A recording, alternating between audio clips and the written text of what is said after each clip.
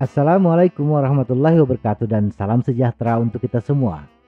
Hal yang paling menjengkelkan ketika bersepeda adalah ketika ban tiba-tiba bocor saat asik bersepeda. Ban bocor memang tidak bisa dihindarkan. Banyak hal yang bisa menyebabkan ban bocor. Misalnya tertancap paku, pecahan kaca, atau benda tajam lainnya. Menghindari benda tajam di sepanjang jalan bukan hal yang mudah. Konsentrasi kita tidak selalu tertuju pada permukaan jalan. Di samping tertusuk benda tajam, ban bocor juga bisa disebabkan oleh kesalahan dalam memperlakukan ban dan tidak memeriksa kondisi ban sebelum berangkat bersepeda. Berikut beberapa tips agar terhindar dari kebocoran ban.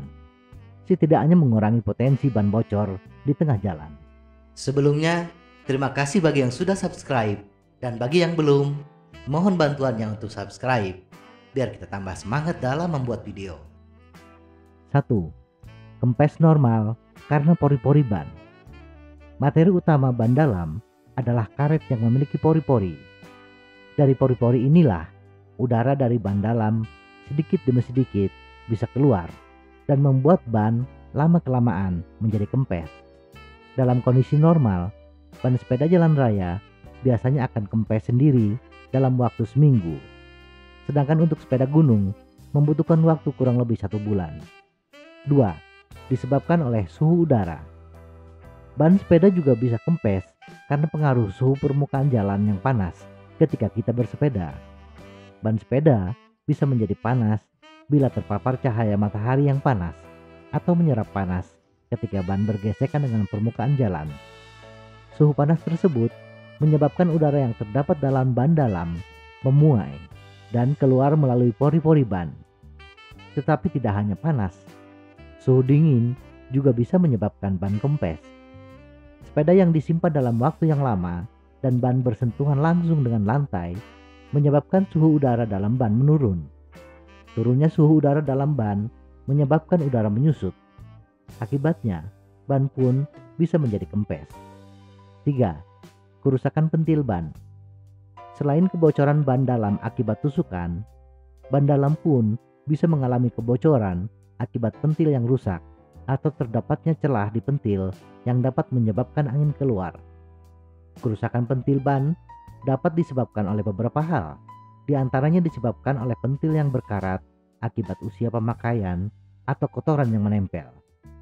Karat tersebut bisa menyebabkan karet perkat antara pentil dengan pelok menjadi ketas atau retak-retak. 4. Snack bite.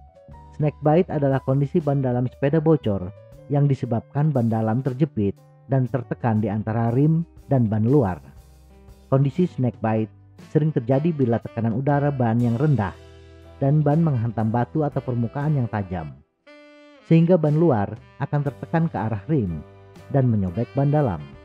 Kebocoran yang disebabkan snack bite biasanya menghasilkan dua lubang pada ban dalam seperti digigit oleh dua taring ular.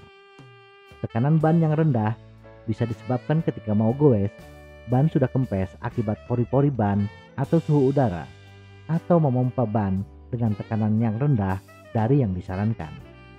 5. Bergesekan dengan pelk atau ujung jari-jari.